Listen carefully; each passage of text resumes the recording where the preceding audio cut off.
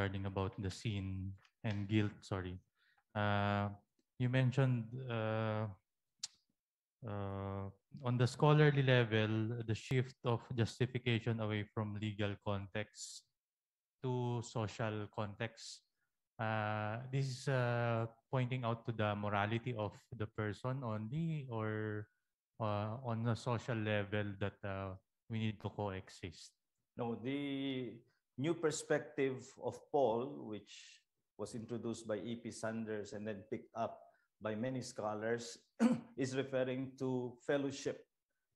So, in other words, uh, the problem is not guilt. The problem is break up of fellowship. And justification is the answer to that.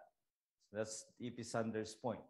Uh, justification means that Jews and Gentiles now belong to the same Christ and not on the basis of the Jewish markers of the law, such as Sabbath, diet, and circumcision. So for him, justification transcends that so that the result is union of Jews and Gentiles. Now, I have nothing against the idea of oneness of Jews and Gentiles in the church. But the question is, is that what justification means?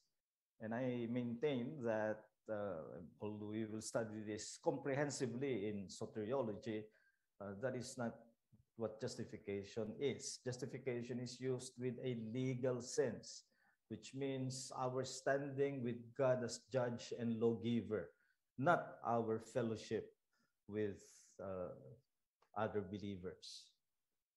But on the scholarly level, you will see this uh, becoming the common approach, even among those who are supposed to be evangelicals.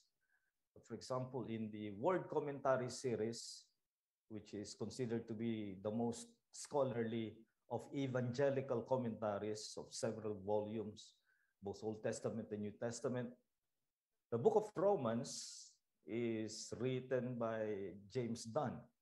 James Dunn follows E.P. Sanders in his new perspective of Paul.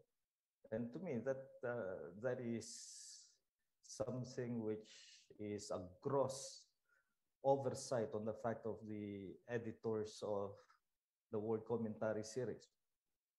Uh, as good as that series of commentaries is on Romans, uh, they made James Dunn I have nothing against James Dunn as an evangelical. I think he's good in many other subjects, but in his commentary on Romans, he adopts the new perspective of Paul position.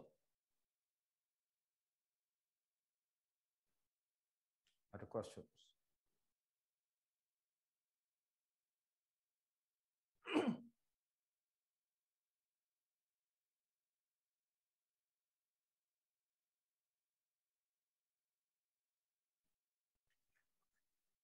Let's take a break.